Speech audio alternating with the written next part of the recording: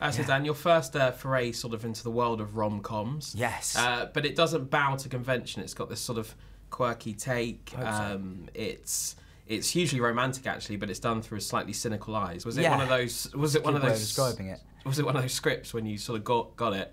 You're like, I'm keeping this. No one else take it from. No, me. absolutely. When you get a script this good, you do just go, okay, yeah, hands off everybody else. This is, um, you know, it's it was smart. It was definitely like smarter than your average rom com and funnier, I hope, and also I like I hope more emotional as well. Um 'cause I think a lot of romantic comedies are kind of disposable in the way you could just sort of see them once and then forget about them. But I feel like this film, I hope, will live with people for a while afterwards. One film that's done that recently, and uh, for me, the modern benchmark of Yeah. rom-coms, 500 Days of Summer, Yeah. has a touch of that. It's very visually beautiful. This film. Good. And there's a moment where um, you're standing holding an umbrella, and Zoe's character sort of you're getting wet, and she Yeah. sort of nudges along, and it just sums up your character so perfectly. I mean, Oh, good. chemistry between you two's got to be right for those scenes to, to work. Well, yeah, we got very lucky, I think, and to a certain extent.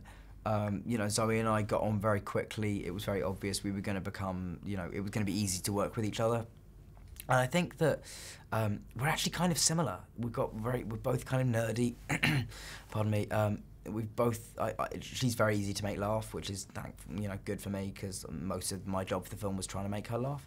Um, and yeah, it was. Uh, you know, she's she's wonderful to work with. Like we got very lucky, and also not just with me and her, but also with like myself and Adam and Zoe and Megan, who plays our sister, and Adam and, and Mackenzie. Like it, the whole group was just cast really well. I feel like they, you know, none of us knew each other, but they they sort of put us together really well. It feels almost like a breakthrough cast, and you're like the veteran that we've been seeing on screens for you know 15 Yeah. years, even though you're you're a young guy starting your well, career as well. Yeah, exactly. respects. No, totally. I mean, that's the thing. I, I definitely feel like I'm sort of in the in the same place as a lot of those guys, even though I have obviously had a very different past.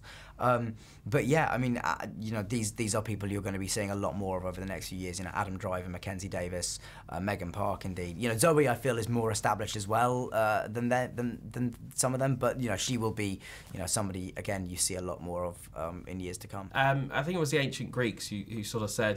So I don't usually start jumping questions great, like I love who said that adultery is actually when the first time you think of a person sort of a sexual way. now it's all about the sex at the end. Is this is this a movie sort of taking it back to those ancient ways? Well, you are kind. That's a brilliant. You, you've you've tapped into something that is brilliant about the film, and that I think is, uh, you know, and the way you've come into it is fantastic as well. Um, but yeah, there is something interesting about the fact that. Um, their relationship becomes a relationship very quickly, just without the sex. You know, Zoe, uh, Zoe and my character start hanging out, and very quickly it moves from just friends to definitely more than friends, but not quite a relationship. And so you're in that grey area where you're just thinking, oh, am I spending too much time with that person, or am I, you know? And it's so it is, you know, it's it's a it's a romantic comedy about ethical grey areas. I mean, those grey areas. It's not a spoiler to say it, it is resolved, but we don't know sort of how. In what way and how it might happen in the future. I mean, Yes, is there ever an answer to this question? It's the age-old question: Can you have a platonic friendship I do think you can have a platonic relationship with somebody of the opposite sex. I think if it, the question of attraction comes into it, then that is more difficult. But I also don't think it's unachievable. Like I, uh, you know, I think, you know, I've I've got friends who I, you know, love and adore and are beautiful people, but who I do not want to sleep with. But the question is, have you ever thought of that in your head? I've- That's the issue, I've ever it? thought of it, but no, I think For a the fleeting I think the issue. I don't think the issue is like have you ever imagined it for a second. I think the issue is more like have you ever uh, can can relationships be unaffected by it? And I think they can. Yes. Whether or not I've spent time imagining it is still totally up to me. That's your business. Yeah. Exactly.